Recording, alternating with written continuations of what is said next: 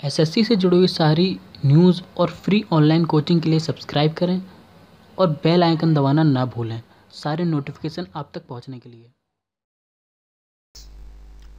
तो hi friends welcome to S S mindset एक बार फिर आप लोगों का स्वागत है एस एस माइंडसेट में और इस वीडियो में हम बात करने वाले हैं उन टॉपिक्स के बारे में जो हमारे एग्ज़ाम पॉइंट ऑफ़ व्यू से बहुत इंपॉर्टेंट हैं, ठीक है? देखिए, जैसा एग्ज़ाम का पैटर्न है और जैसा भी पिछले दिनों में पूछा गया है एग्ज़ाम को ठीक है तो मैं उसी तरह से जितने मैंने टॉपिक मैंने लगभग देखिए राकेश यादव की बुक से मैंने छाँट छाँट के कुछ इंपॉर्टेंट टॉपिक निकाले हैं। कुछ टॉपिक ऐसे हैं जो आपको इसमें लिखे हुए मिल जाएँगे और कुछ टॉपिक ऐसे हैं जो ईजी हैं, जो इतने इंपॉर्टेंट नहीं है, वो मैं आपको ओरली बता दूँगा। ठीक है? तो आप इस वीडियो को पूरा दिखेगा अगर आप इस वीडियो में जितने भी मैं टॉपिक बता रहा हूँ, उसकी वो सारी चीज़ें कर लेते हैं। तो यकीन मानिए कि आपका लगभग लगभग 70 से 80 परसेंट टॉपिक तो कवर हो जाएगा अगर आप सिर्फ़ इसको कर लेते हैं। चाहे आपको कुछ कुछ भी तैयारी ना हो तब भी, ठीक है? तो चलिए स्टार्ट करते हैं। तो देखिए, सबसे पहले जो मैंने टॉपिक लिया है, जो इन सब में सबसे कम इंपॉर्टेंट है, वो है पावर इंडेसिस एंड सर्ट्स ठीक है?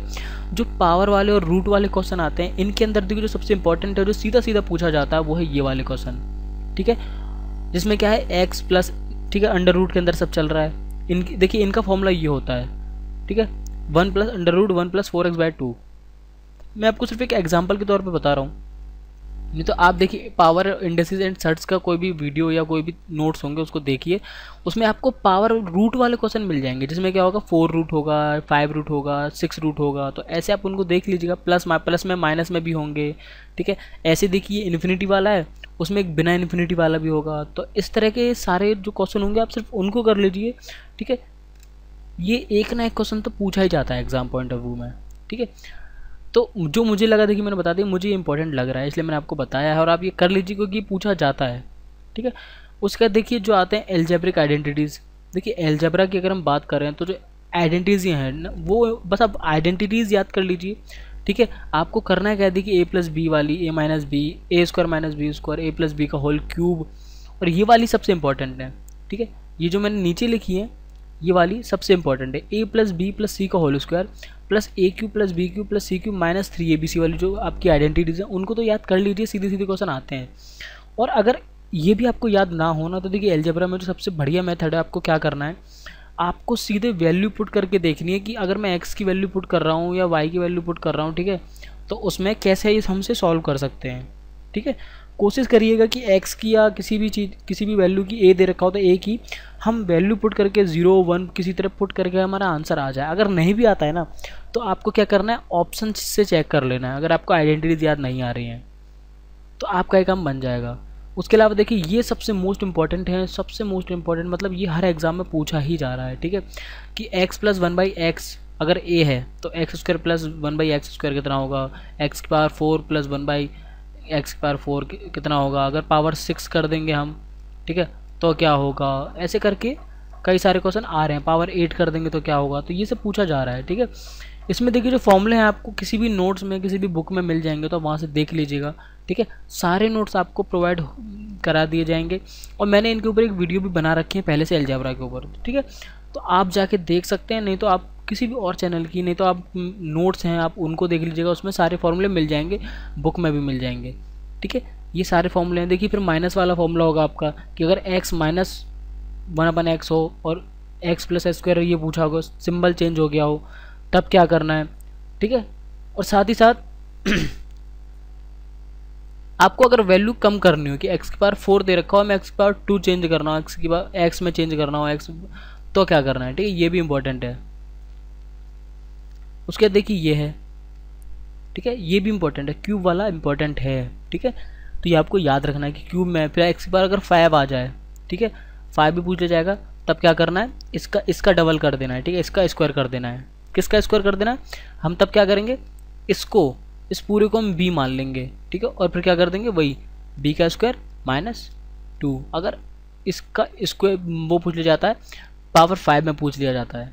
ठीक है? और देखिए टिग्नोमेट्री के लिए मैं आपको कोई फॉर्मूला नहीं बताऊँगा। सिर्फ़ तीन चीज़ें आपको याद रखनी है पूरी टिग्नोमेट्री में अगर आपको करना है। और लगभग देखिए, चार से पाँच क्वेश्चन हर सेप्ट में आ रहे हैं, ठीक है? तो ये लगभग लगभग दस नंबर आपके कंटेन करता है। तो इसमें आपको क्या करना है? देखिए, सबसे पहले तो आपका हाइट एंड डिस्टेंस में भी हेल्प करेगा क्योंकि वहाँ पर कॉट वाले फॉर्मूले हैं, ठीक है? कॉट वाले नहीं है तो देखिए आपको वीडियोस मिल जाएँगी। मैं आपको एक बता दूँगा, आप उसको देख लीजिएगा, ठीक है? तो आपको क्या करना है? सबसे पहले तो आपको डिग्रीज की वैल्यू याद करनी है, क्योंकि देखिए, ज़्यादातर क्वेश्चन आपके डिग्री की वैल्यू पुट करके हो जाएँगे कि थर्टी डिग्री की वैल्यू पुट कर दी फोर्टी डिग्री की वैल्यू पुट कर दी थीटा की वैल्यू पुट करनी है।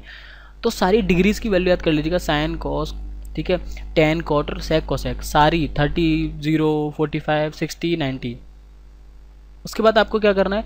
जितनी भी बेसिक आइडेंटिटीज़ हैं इसकी, ठीक है, कि साइन ए प्लस बी क्या होता है, ठीक है प्लस कॉट ए प्लस भी क्या होता है कॉस ए प्लस कॉस भी क्या होता है, इस तरह की जो छोटी छोटी आइडेंटिटीज़ हैं, वो सब याद कर लेना। पर मेन चीज़ ये आपको याद रखनी है कि टेन सेक और कॉट से रिलेटेड जितनी आइडेंटिटीज़ हैं, उनको ज़रूर अच्छे से कर लीजिएगा, क्योंकि ज़्यादातर क्वेश्चन आपके टेन सेक और कॉट से पूछे जाते हैं। और अगर आपको वो ना याद हो तो पता है इनको साइन और कॉस में चेंज कर लीजिएगा और फिर इन्हें अटैम्प्ट कीजिएगा। ठीक है? तो देखिए, और थर्ड पॉइंट ये है कि आपको हमेशा यही ट्राई करना है कि आपका जो आंसर है वो वैल्यू पुट करने पे आ जाए। अगर नहीं आता है उसके बाद ही आपको ट्राई करना है कोई और मेथड ठीक? उसके बाद देखिए हाइट एंड डिस्टेंस है। तो हाइट एंड डिस्टेंस में आपको एक कुछ चीज़ें बस ये याद रखनी है। क्या?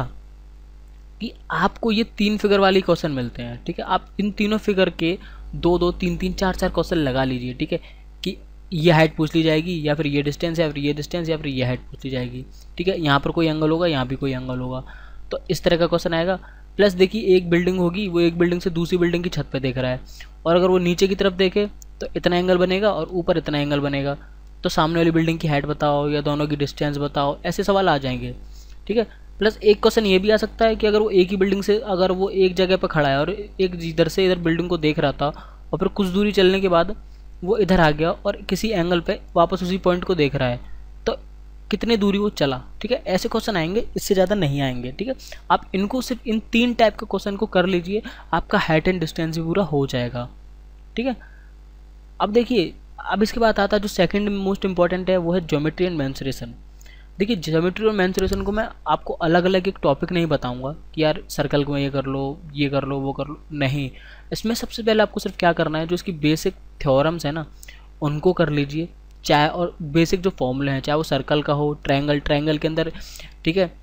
इन सेंटर आपका ऑर्थो सेंटर सरकम सेंटर इस तरह के जितने भी आपके ट्रायंगल हैं, वो कर लीजिए। सेंट्रॉयड हुआ आपका, ठीक है?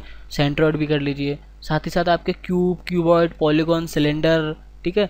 आपका स्फीयर जितने भी आपके फॉर्मूले हैं मैंसुरेशन में तो सिर्फ़ फॉर्मूले कर लीजिए, आपका काम हो जाएगा, ठीक है? तो मैंसुरेशन की वीडियो मिल जाएगी, नहीं तो आपको पीडीएफ मिल जाएगी, सारे फॉर्मूलेस की एक वो ले लीजिए और सारे फॉर्मूले एक बार देख लीजिए, ठीक है? और देखिए, इस ट्रायंगल तो आप कर ही लीजिएगा क्योंकि सेंट्रोइड से सेंटर सरकम सेंटर से बहुत क्वेश्चन आते हैं, ठीक? देखिए, ये सारे पॉइंट थे जो इंपॉर्टेंट थे। अब बात आती है उन पॉइंट्स की जो मैंने इसमें मैंसन ही नहीं किए। उसमें देखिए, अगर मैं बात करूँ सबसे पहले, जो मैंने मेंशन नहीं किए तो सबसे पहले मैं बात करूँगा प्रॉफिट एंड लॉस की। देखिए प्रॉफिट एंड लॉस के बहुत इजी क्वेश्चन आ रहे हैं, ठीक है? और एक ही क्वेश्चन आता है या दो क्वेश्चन आते हैं इससे ज़्यादा नहीं आते, ठीक है? तो उसमें आपको कोई प्रॉब्लम की बात नहीं है, वो तो आप ईजी से कर लेंगे।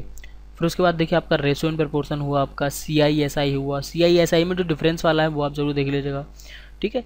तो इस तरह के देखिए, बहुत ही छोटे छोटे टॉपिक आ रहे हैं, पर ये मैंने सिर्फ़ वो टॉपिक लिए जो आपको थोड़ा टिपिकल भी लगते हैं और आपको सबसे ज़्यादा टाइम कंज्यूमिंग भी हैं, ठीक है? तो इन सारे टॉपिक को आप अगर कर लेते हैं, जो मैंने आपको ये दिखाए हैं तो ये 50 परसेंट टॉपिक है जो मैंने इसमें मेंशन किए हैं और बाकी के जो 50 परसेंट है वो मैंने मेंशन नहीं किए क्योंकि वो इतने इंपॉर्टेंट नहीं होते, आप इजीली उन्हें कर लेते हैं, बहुत ही ईजी क्वेश्चन आते हैं ऊपर, ठीक है? चाहे फिर एक क्वेश्चन है, देखिए टाइम एंड डिस्टेंस के एक क्वेश्चन आता है, जो ट्रेन वाला आता है, ठीक है? ट्रेन वाला और ट्रेन के अंदर जो बुलेट वाला क्वेश्चन होता है, कि ठीक है, एक ने बुलेट चलाई और बुलेट का साउंड इतनी देर बाद सुनाई दिया। तो वो जो वो क्वेश्चन है ना, वो मैं आपको अलग से एक वीडियो में बताऊँगा, ठीक है? ट्रेन और बुलेट वाला। ठीक है? तो आप उसके लिए इंतज़ार करिएगा, मैं आज ही उसका एक क्वेश्चन बता दूँगा आपको। और साथ ही साथ देखिए टिग्नोमेट्री के टॉप टेन क्वेश्चन मैं वो भी लेकर आने वाला हूँ, ठीक है? तो मैं हर टॉपिक के टॉप टेन की top ten most difficult question सबसे कठिन जो क्वेश्चन है, आपके टिग्नोमेट्री के हुए, या फिर आपके जो इस तरह के पूछे जा रहे हैं। देखिए, मैं इसी साल के उठाऊँगा, ये नहीं कि पिछले सालों में, जो इसी साल में पूछे गए हैं पाँच तारीख से लेके बारह तारीख तक, जो भी सवाल पूछे गए उनमें जो सबसे टिग्नोमेट्री के सबसे दस कठिन सवाल होंगे, मैं उनको उठाऊँगा। ठीक है? और फिर आपको सॉल्व करके बताऊँगा एकदम शॉर्टकट मेथड में। और साथ ही साथ देखिए अदर सब्जेक्ट के भी उठाऊँगा तो आई होप कि आपको वीडियोस समझ में आएँगे और पसंद भी आएँगी। ठीक है? तो देखिए, ये सारे टॉपिक थे, मुझसे कहा गया कि मैं बता दूँ। इसके बाद मैं जीएस का रीजनिंग और इंग्लिश के भी डालूँगा कि आपको क्या करना चाहिए इन लास्ट की आने वाली शिफ्टों के लिए। ठीक है? तीन चार दिन में आप क्या कर सकते हैं, दो दिन में आप क्या कर सकते हैं? दो दिन में सिर्फ़ आप इतना ही कर सकते हैं, ज़्यादा नहीं कर पाएँगे, क्योंकि और भी सब्जेक्ट आपको करने हैं। ठीक है? तो आई होप कि आपको वीडियो पसंद आई होगी। अगर पसंद आई है तो यार प्लीज़ वीडियो को लाइक कीजिए और यार सब्सक्राइब कर दो यार। सब्सक्राइब तो आप करते ही नहीं हो, देखते और चले जाते हो। तो सब्सक्राइब कर दीजिए। फिर मिलते हैं नेक्स्ट वीडियो में, तब तक के लिए bye thanks for watching and Vande Mataram